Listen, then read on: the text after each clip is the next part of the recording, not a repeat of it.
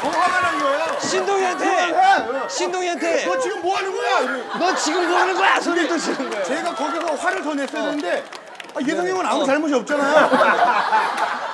아니 그런 게 아니고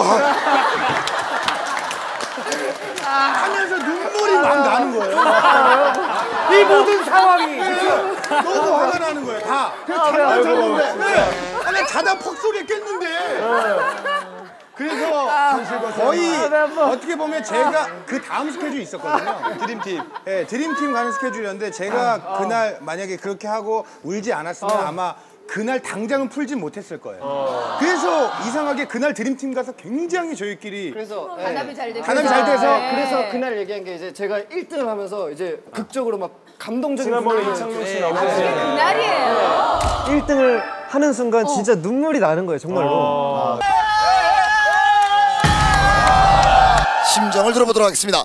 뛰는 내내 정말 멤버들 생각밖에 안 했고요. 네, 그래서 멤버들이 막 떠올랐다고 막 하면서 그렇게 청소년 드라마가 끝이 났죠.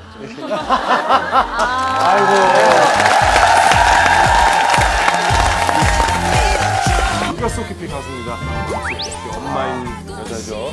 박경 씨. 변호사 L씨와 의뢰인 P씨의 은밀한 관계. 무슨 미드 제목 같기도 하고. 예. 변호사 L 씨는 저희 남편이고요. 네. 네, 의뢰인 P 씨는 접니다. 네.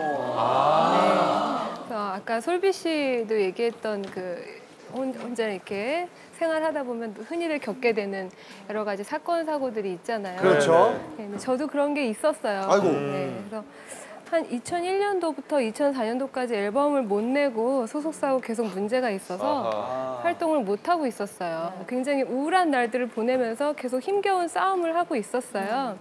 그렇게 한 3년 정도 시간이 지났는데 매니저가 변호사가 바뀌었다고 새로 다시 다시 다 회의를 해야 되고 그 상황을 모르니까 얼마나 스트레스를 받아요. 그렇죠. 3년 예. 동안 이때까지 진행을 해왔는데 그 얘기 저는 예. 되구나.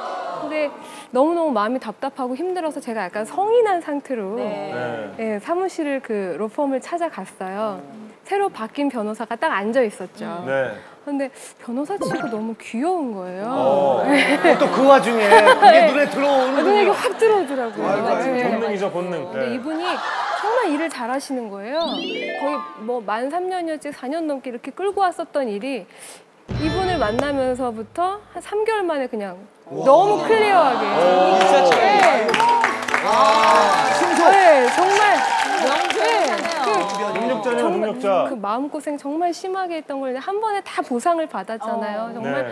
뭘 주어도 아깝지 않은 상황이었는데 음. 이런저런 이야기를 하다가 그런데 박경 씨 음반을 들어봤는데 아, 음반이 굉장히 독특하더라. 그런 얘기를 하시는 거예요. 네. 그래서 그러면서 저한테 왜 CD를 안 주세요? 어. 이런 얘기를 하시는 거예요. 그래서 사인 CD를 달라고 저는 아 그러면은 제가 CD를 드릴게요. 그러면 어떻게 식사를 할까요?